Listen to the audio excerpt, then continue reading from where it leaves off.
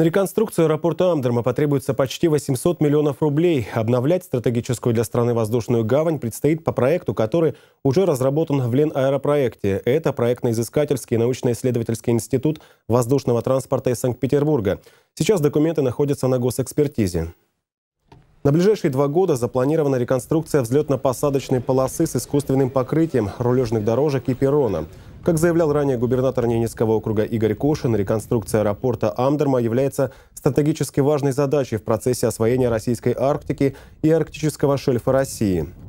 Необходимость возрождения и развития заполярной авиации является немаловажной составляющей выстраивания государственной системы сохранения и развития Арктики, подчеркнул глава региона.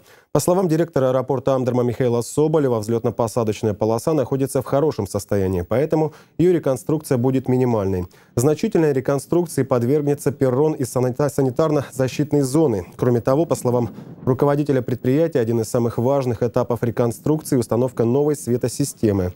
Светополоса, созданная еще в советские годы, не сертифицирована, в связи с чем правила Росавиации не позволяют ее использовать.